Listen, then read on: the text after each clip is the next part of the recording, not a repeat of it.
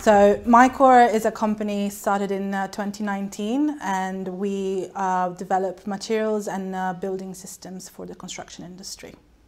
Growing up in Sicily, I've always been fascinated by the natural world and um, I looked into all sorts of different waste streams that could be repurposed, starting with wine, agricultural waste, um, and all different sorts of feedstock that could be made into new materials.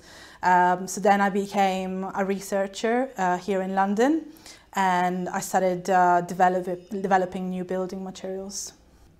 I started Mykor as a company uh, that was going to make consumer products, um, products that were going to be made at a high, a high price point, um, and they were just going to be beautiful to look at.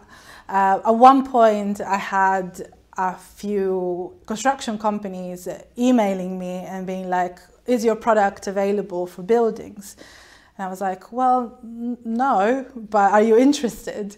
Uh, so this has kick-started our journey into the construction industry where we realized it was a bigger problem that we even thought at the beginning. And um, we made we design waste uh, into our process at the very very early stage where now waste is our raw material essentially.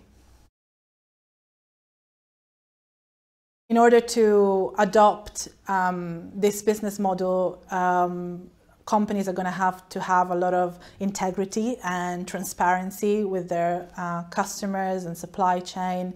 Uh, so it would be really great if all of us could agree on what we want this to look like in terms of policy and also in terms of what uh, how much of our process we show and we share as well because knowledge in the circular economy is as valuable as you know raw materials.